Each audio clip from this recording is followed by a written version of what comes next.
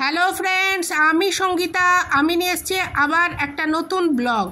আজকের বিষয় হলো হোলি। আর হোলিতে সবাইকে জানাই শুভেচ্ছা। যদিও আমি, আমার ছেলে, আমার পরিবাররা হোলি খেলি না, কেননা হচ্ছে কালার আবির সেইভাবে দিল্লিতে কেউ খেলে না। আর যেটা বেলুন ভীষণভাবে ছোড়া হয়, তার মধ্যে জল ভরে, রং ভরে, এই খেলাটা আমাদের খুবই বিচ্ছিরি লাগে। ছেলে ক্লাস সেভেন পর্যন্ত খেলেছিল তারপরে এখন আর খেলে না। এই হচ্ছে আমাদের যেখানে থাকি সেখানে এই হোলি খেলার উৎসব শুরু হয়েছে।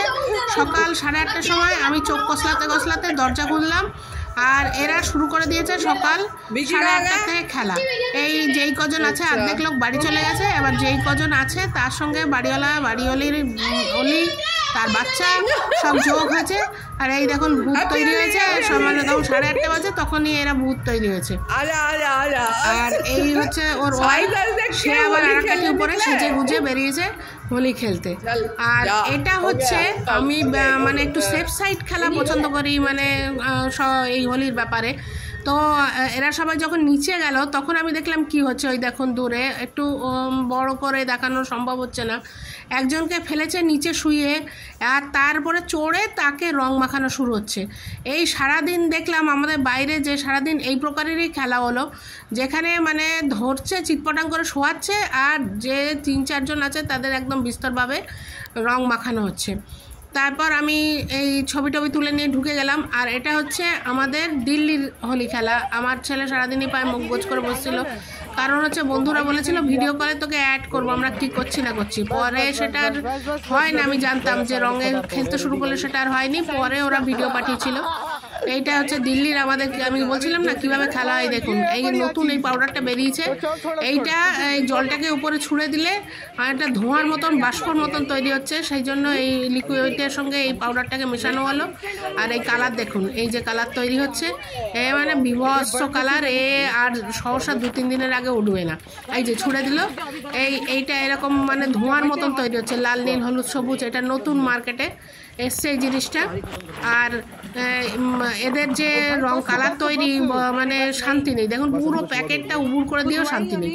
ওই যে এত ডার্ক কালার এসছে, তাতেও শান্তি নেই, আরও হলে ভালো হতো এদের।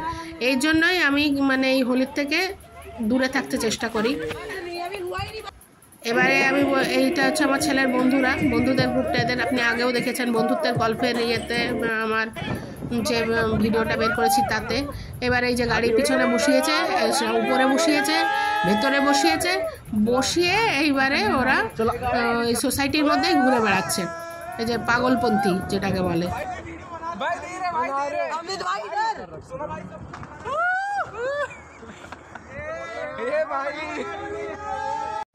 আর এই হচ্ছে আমার ছেলে আসছে আগের দিন।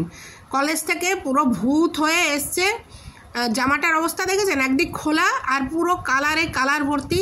আমি অনেক চেষ্টা করেও এর কালার তুলতে পারিনি। ডাই ক্লিনে দেবো, যদি ঠিক হলো তো হলো, নাহলে গেল। এই দেখুন, কি অবস্থা। আর আমি আপ্রাণ চেষ্টা করছিলাম মাথার উপরটা আপনাদের দেখানোর যে কি অবস্থা করে নিয়ে এসছে, কিন্তু সেটা অনেক চেষ্টা করেও সেটা তুলতে পারছিলাম না নিচু হচ্ছিলাম না শয়তানি করে। যে উম, কুকীর্তি ফাঁস হয়ে যাবে কীভাবে খেলেছে দেখুন কানটার মধ্যে কীভাবে কালার ভর্তি কান ওর ফুটোর মধ্যে পর্যন্ত রং ঢুকে গেছিল ওর। আর ওর মানে ডাস্ট অ্যালার্জি আছে তারপরে তো চোখ টোক লাল হয়ে সে এক এক সার অবস্থা হয়েছিল। কিন্তু আমি মজাও পেয়েছি আমি বকাবকি খুব একটা করিনি আর ওর- বাবা তো করবেই না এসব ব্যাপারে। কেননা একা থাকে তো খুব একটা এই রকম আনন্দ করার সুযোগ ওর জীবনে বড় একটা আসে না। তো বন্ধুরা মিলে মজা করেছে ঠিক আছে এটাও একটা জীবনের অঙ্গ। আর এই হচ্ছে আমার বড় ছেলে। মানে আমার ননদের ছেলে। ও আমাদের মানে খুবই প্রিয়। ওর বন্ধুরা বিদেশে থাকে, কানাডায় থাকে। ও সেখান থেকে হঠাৎ করে আমাকে ছবিটা পাঠিয়ে বলল, মাইমা, এখানে আমি কানাডাকে একটা ছোট বাংলা বানিয়ে দিলাম। এই দেখো রঙে রং আমরা কীরকম রং খেলেছি।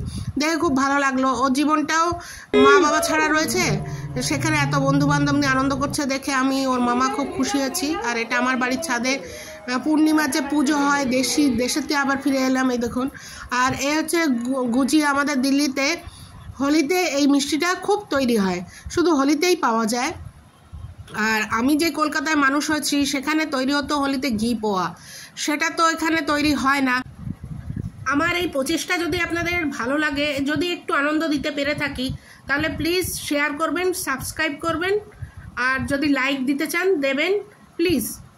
Thank you.